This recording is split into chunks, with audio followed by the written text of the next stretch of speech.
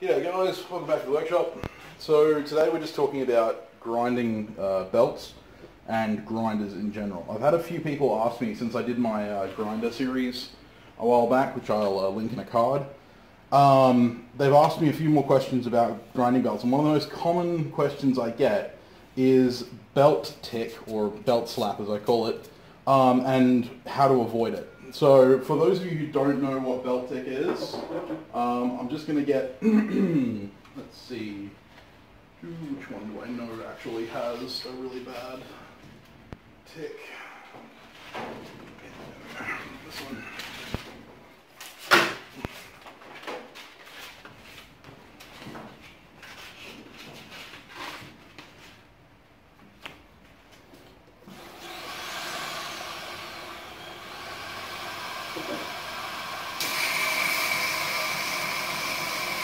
Not sure if you can hear that. Unfortunately, I only have high quality belts because I don't buy cheap belts anymore. I used to. But um, it's the sound, actually, no, this polishing belt. This polishing belt will do it. I need to be gentle with it because it's a polishing belt, not a grinding belt. but it is the sound normally of the seam passing over a piece of metal.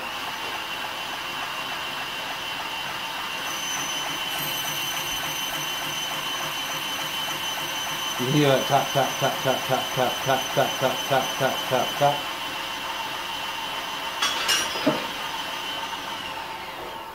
Now, what this is, and it's stopped almost in the perfect spot, is you see this seam here? That's where the uh, end of the belt, because obviously belts don't come circular, they come in long sheets and they're cut out and then uh, split. And then the manufacturer uh, splices them together, normally with uh, a fiberglass or um, some form of polypropylene um, tape, which is a really strong adhesive. Um, but it also increases the thickness. Uh, and the best way to avoid it is to buy expensive belts. The more expensive the belt, normally the better it is because they low profile their seams. I have some Cubitrons here. So uh, it's not obvious, but you can see this line here of uh, dull material outside. They actually thin the belt backing uh, before putting the seam in. So the seam is the exact same thickness as the, the main belt. What you'll find with cheaper brands is that they don't thin the, the belt seam. All they do is just slap that um, connector on uh, without doing that. Uh, these, yeah, so now here we go. This is a Klingspor. And Klingspor don't do too bad a job, but you can see there's a raised ridge there. Uh, I've found that a couple of the Klingspors that I've used have had pretty heavy um, belt seams. And that's what causes it. Uh, and it's also with the backing. It's the hard backing. Uh, if you were to use a belt that has a relatively high, I think this one's worn down quite a bit.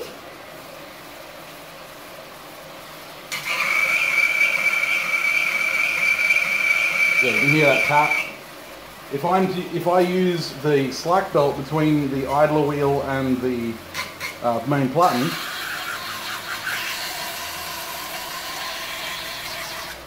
it doesn't cause my hand to jump around as much. You can't hear that tap as much as you can. There, so a lot of it comes down to the supporting material. Uh, if you've got a contact wheel with a rubber, uh, especially the serrated rubber uh, contact wheels, they will not tap as badly as a solid platen. Uh, and obviously using a slack belt uh, will do that as well. The other thing to keep in mind is the speed. The faster you run it, the less tap you're going to have. But it does have a certain frequency basis to it. So at a really low speed, it's kind of a, just a tap, tap, tap, tap, tap, tap. If I run it up to about half speed, okay, so this is about 2,000 surface speed per minute.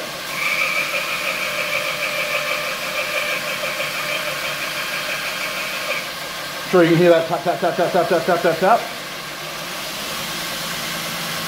That, that would be the speed at what a normal um,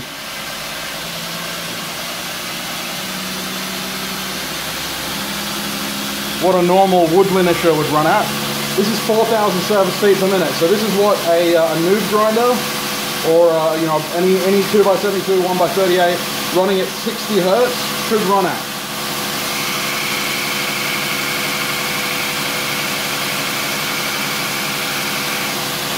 You should be able to hear that you can still hear that tap, tap, tap, tap, tap, and I'm feeling it in the piece. The piece is wanting to jump and bubble a it. If I ramp this up to the full 7,000,